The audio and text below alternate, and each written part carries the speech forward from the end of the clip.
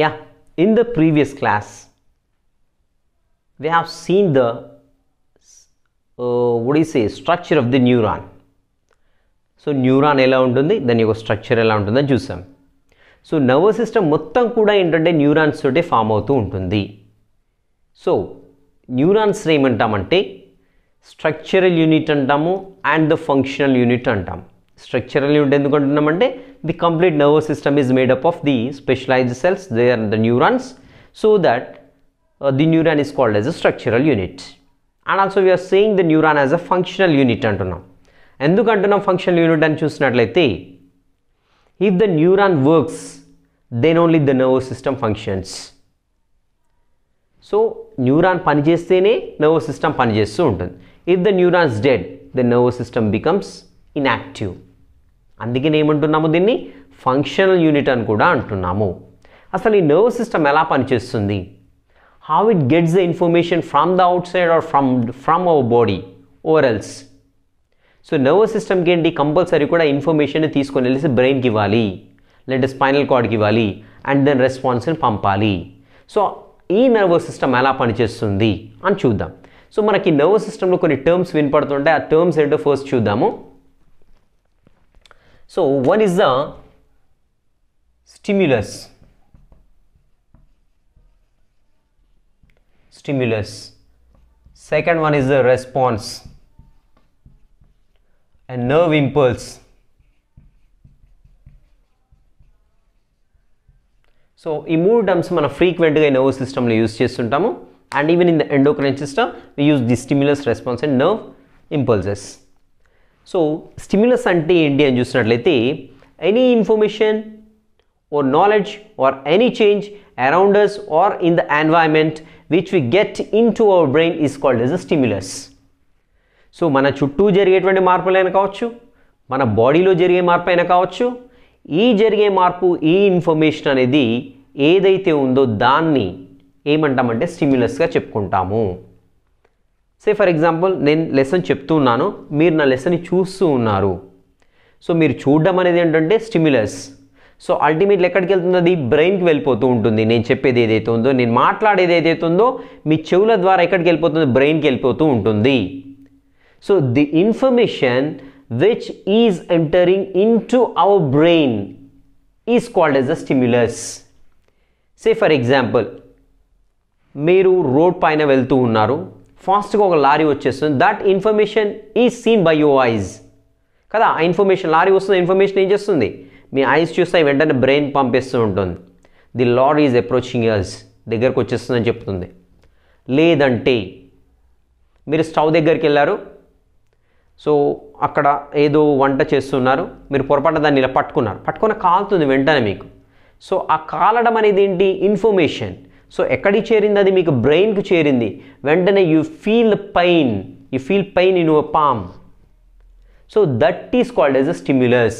Any information which is reaching to your brain or to your spinal cord is called as a stimulus. గుర్తుపెట్టుకోండి. And then response. So response అంటే ఏంటని చూసినట్లయితే according to your stimulus స్టిమ్యులస్కు అనుగుణంగా your body acts against the sim stimulus so ఆ information ఏదైతే మీ బ్రెయిన్కి చేరిన తర్వాత మీ బ్రెయిన్ ఏం చేస్తుంది ఆ ఇన్ఫర్మేషన్ అనాలిసిస్ చేస్తూ ఉంటుంది సే ఫర్ ఎగ్జాంపుల్ ఇంతకుముందు చెప్పినట్టుగా as you crossing the road the lorry is approaching you you have seen that lorry and this information is carried to your brain and your brain say that the lorry is coming you just run away from the road or you go back ఏం చెప్తుంది మీ brain? Lorry దగ్గరకు వచ్చింది మీరు వెంటనే వెనక్కి వెళ్ళిపోండి లేదంటే త్వరగా క్రాస్ చేయండి అని చెప్తుంది. So that is a response that is a response if I ask a question are you listening the lesson what you say you say I'm listening the lesson you say మీరు చెప్తారు మీ lesson వింటున్నారా? వింటున్నాం. So వింటున్నారా అనే question ఏంటి? Stimulus వింటున్నాము అని మీరు ఆన్సర్ చెప్తారు కదా? దట్ ఈజ్ రెస్పాన్స్ సో ఏదైనా ఇన్ఫర్మేషన్ బ్రెయిన్కి చేరితే స్టిమ్యులస్ ఆ ఇన్ఫర్మేషన్ అనాలిసిస్ చేసి మీరు ఇచ్చేటువంటి ఆన్సర్ ఏదైతే ఉందో మీరు చేసేటువంటి యాక్షన్ ఏదైతే ఉందో దట్ ఈజ్ రెస్పాన్స్ మీరు కిచెన్లోకి వెళ్ళి ఒక కాలేదు కాలేదు పట్టుకున్నారు. వెజిల్ పట్టుకున్నారు. పట్టుకుంటే కాలుతుంది. వెంటనే ఏం చేస్తారు?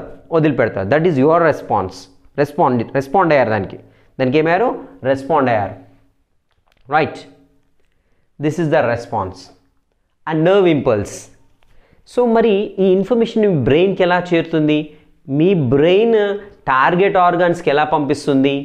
ఏం చేయాలి అనేది టార్గెట్ ఆర్గాన్స్ అంటే ఏమీ లేదు. ఒక స్టిమ్యులస్ మీ బ్రెయిన్కి చేరినప్పుడు మీ బ్రెయిన్ ఏం చేస్తుంది? మీ యొక్క బాడీలో ఉండే ఏ ఆర్గాన్కైనా ఇన్ఫర్మేషన్ పంపిస్తుంది. ఏ ఆర్గాన్కైతే ఇన్ఫర్మేషన్ మీ బ్రెయిన్ పంపిస్తూ ఉంటుందో that organ is target organ ఇంతకుముందు చెప్పాను కదా లారీ దగ్గరకు వచ్చింది. వెంటనే మీ బ్రెయిన్ ఏం చేస్తుంది? మీ కాళ్ళల్లో ఉండే మజిల్స్కి మీ చేతుల్లో ఉండే మజిల్స్కి మీ కాళ్ళల్లో ఉండే బోన్స్కి మీ చేతుల్లో ఉండే బోన్స్కి వెంటనే అక్కడ నుండి ఉరుకు రన్ అవే ఫ్రమ్ దేర్ అని ఇన్ఫర్మేషన్ పాస్ చేస్తూ ఉంటుంది. అప్పుడు మీ కాళ్ళల్లో ఉండే మజిల్స్ మీ చేతుల్లో ఉండే మజిల్స్ మీ కాళ్ళలో చేతుల్లో ఉండే స్కెలిటల్ సిస్టమ్ ఇవన్నీ కూడా టార్గెట్ ఆర్గన్స్ అవుతాయి. అర్థమవుతుంది కదా? సో మరి ఇన్ఫర్మేషన్ ఎలా బ్రెయిన్కి చేరుతుంది? ఈ బ్రెయిన్ ఎలా ఇన్ఫర్మేషన్ టార్గెట్ ఆర్గాన్కి పాస్ చేస్తుందంటే this information is transmitted in the form of electricity current ఉంటుంది కదా? కరెంటు రూపంలో ఇన్ఫర్మేషన్ బ్రెయిన్కి వెళ్ళిపోతుందంట. సో బ్రెయిన్ కూడా కరెంటు రూపంలో టార్గెట్ ఆర్గాన్కి ఇన్ఫర్మేషన్ పంపుతుంది. But this electricity is very low in capacity so చాలా తక్కువ స్థాయిలో కరెంట్ ఉత్పత్తి చేస్తూ ఉంటుంది. అలా కరెంట్ రూపంలో మనకి ఏంటంటే ఇంపల్స్ అనేవి information which is passing through the nervous system are called as the nerve impulses nerve impulse అంటే ఏం లేదు? నర్వస్ సిస్టమ్ నుండి పాస్ అయ్యేటువంటి ఇన్ఫర్మేషన్ ఏదైతే ఉందో in the form of electrons electricity then that is called as the nerve impulse చూద్దాం ఇప్పుడు. So ఇక్కడ మీరు ఈ కన్నుతోటి ఏం చేశారు? సో ఒక ఏదో సంథింగ్ కార్ ఏదో వస్తుంది అనుకుందాం మీ దగ్గరికి. కార్ మీ చూశారు మీరు. చూడగానే వెంటనే ఏమవుతుంది? ఇక్కడ నుండి this is the stimulus isn't it stimulus so ఇక్కడ నుండి ఎక్కడికి వెళ్ళింది? ఇన్ఫర్మేషన్ బ్రెయిన్కి వెళ్ళిపోయింది. సో ఇది ఇక్కడ నుండి బ్రెయిన్కి వెళ్ళిపోయింది. సో బ్రెయిన్ ఏం చేస్తుంది? ఎనాలిసిస్ చేసింది సో ఏం చేస్తుంది? ఇక్కడ నుండి ఇంకో నర్వ్ ద్వారా టార్గెట్ ఆర్గాన్కి పంపిస్తుంది. టార్గెట్ ఆర్గాన్ ఏంటి? కాల్ కావచ్చు. సో ఇదేమవుతుంది మనకి ఇక్కడ? టార్గెట్ ఆర్గాన్ సో చూడగానే ఈ ఇన్ఫర్మేషన్ అది ఎలా వెళ్తుంది ఇది? ఇన్ఫర్మేషన్ బ్రెయిన్ కంటే నర్వ్ ఇంపల్స్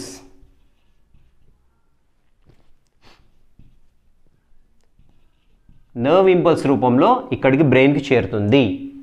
సో ఏ నర్వ్ ద్వారా అయితే బ్రెయిన్కి చేరుతుందో those nerve are called as the sensory nerves or afferent nerves so తర్వాత చూద్దాం అది.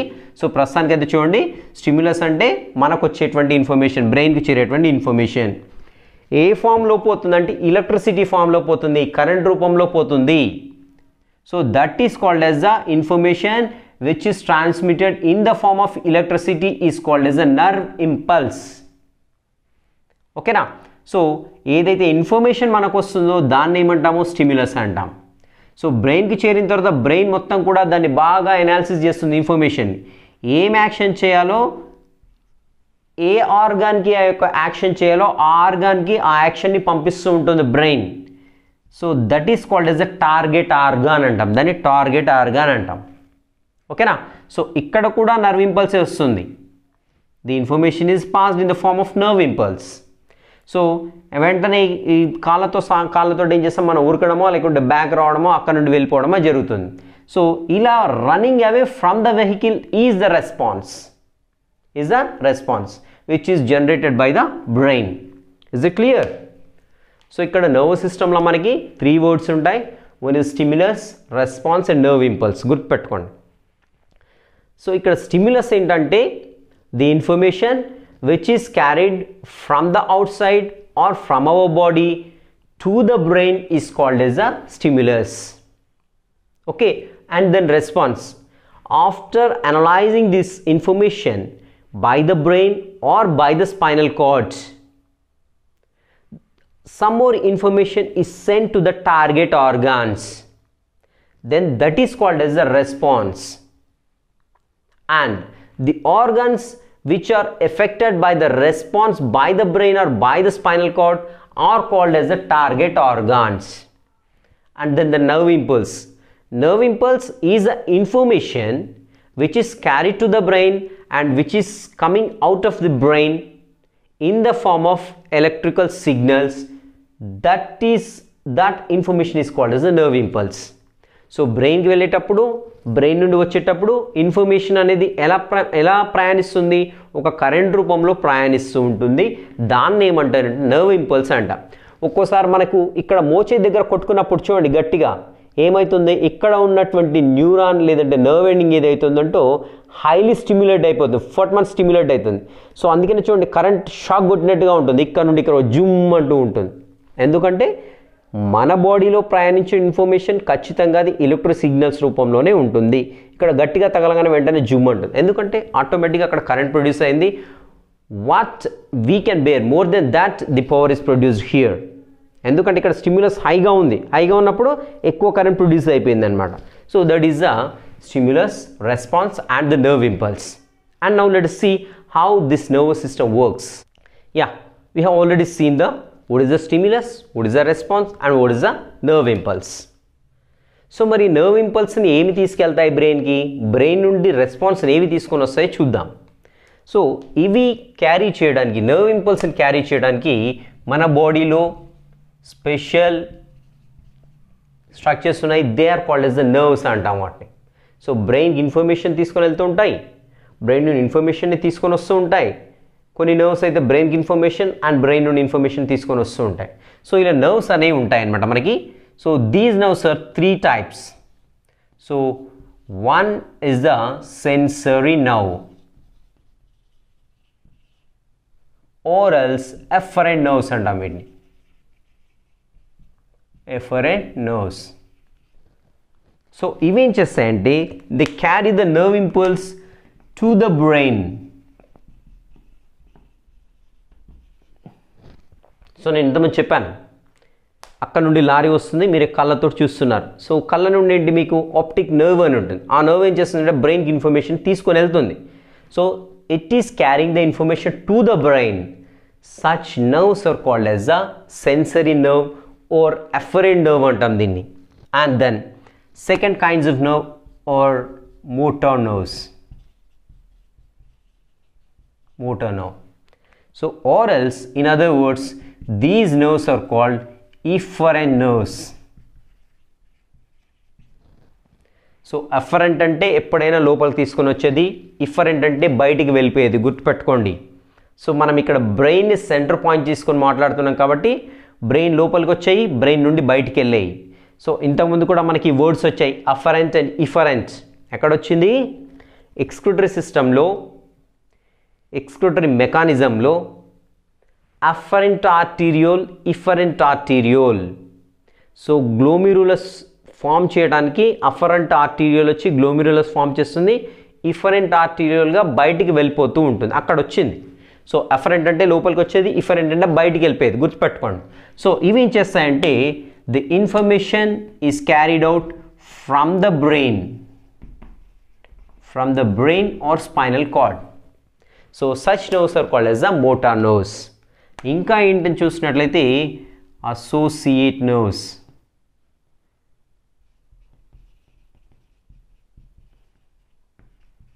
they carry the both functions of the afferent and efferent nerves both the functions of afferent and efferent nerves so in the sense they carry to the brain they carry the information to the brain and they take out the information from the brain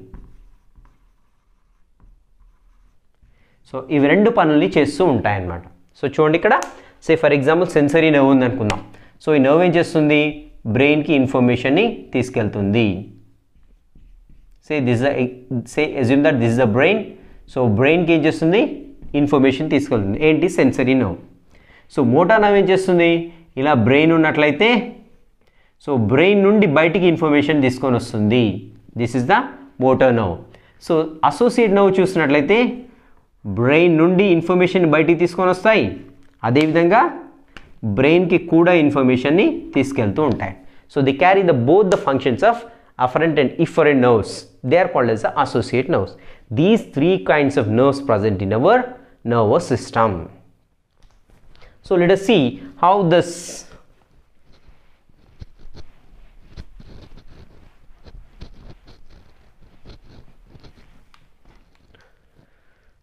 yeah what are the different kinds of parts involved in the nervous system? Let us see. For our understanding. For easily understanding this nervous system this nervous system is divided into three parts. One is a cns second one is a pns third one is a ans cns means central nervous system. Pns means peripheral nervous system. Ans means autonomous autonomous nervous system so our nervous system is divided into three kinds or three parts one is a cns central nervous system peripheral nervous system and autonomous nervous system ఒక్కసారి బ్రీఫ్గా వీటి గురించి చూద్దాం సిఎన్ఎస్లో ఏముంటాయి central nervous సిస్టంలో ఏముంటాయని చూసినట్లయితే central nervous సిస్టంలో మనకి ఏంటంటే టూ మేజర్ పార్ట్స్ ఉంటాయి one is the brain and second one is the spinal cord. Spinal cord. మరి పెరిఫెరల్ నర్వస్ సిస్టమ్లో ఏముంటాయని చూస్తున్నాయి ఆల్ ద నర్వ్స్ అన్ని నర్వ్స్ కూడా ఏంటంటే పెరిఫెరల్ నర్వస్ సిస్టంలో ఉంటాయి. సో మరి ఏఎన్ఎస్లో ఏముంటాయని చూసినట్లయితే some part of brain some part of brain like medulla oblongata కావచ్చు. లేదంటే some kinds of nerves are involved in the ANS autonomous nervous system. Right so ఈ అటానమస్ అంటే ఏంటంటే స్టాండ్ అలోన్ అటానమస్ మీనింగ్ అంటే అంటే స్టాండ్ అలోన్ సో ఎవరి చెప్పు చేతుల్లో కాకుండా తనంట అదే పనిచేస్తుంది దాన్ని ఇంగ్లీష్లో అటానమస్ అంటాం. సో మీరు మామూలుగా పేపర్లలో అలా చూడొచ్చు అటానమస్ యూనివర్సిటీ అంటే. ఏ యూనివర్సిటీ మీద డిపెండ్ కాదు. తానంతటదే ఎగ్జామ్స్ కండక్ట్ చేసుకుంటుంది. తానంతటదే స్పెషల్ క్వశ్చన్ పేపర్స్ అలా తయారు చేస్తుంటారు. వాళ్ళ టైమింగ్స్ వేరే ఉంటాయి. మామూలు యూనివర్సిటీస్ కాలేజ్ టైమింగ్స్ వేరే ఉంటాయి. అటానమస్ అంటే దేనిపైన స్వతంత్ర ప్రతిపత్తి అంటాం తెలుగులో అయితే. సో దేనిపైన డిపెండ్ కాకుండా ఓన్గా పనిచేస్తూ ఉంటుంది. ఇక్కడ కూడా మన నర్వస్ సిస్టంలో కొంచెం పార్ట్ చూసినట్లయితే అంటే కొన్ని నర్వ్స్ కావచ్చు or else some part of the brain కావచ్చు ఇవేం చేస్తాయంటే వేరే వాటి మీద దేనిపైన డిపెండ్ కాకుండా వేటి ఆర్డర్స్ తీసుకోకుండా వాటంతట అవే ఏమేం చేయాలో ఆ పనులన్నిటి చేస్తుంటాయి. Then that particular system is known as autonomous nervous system is it clear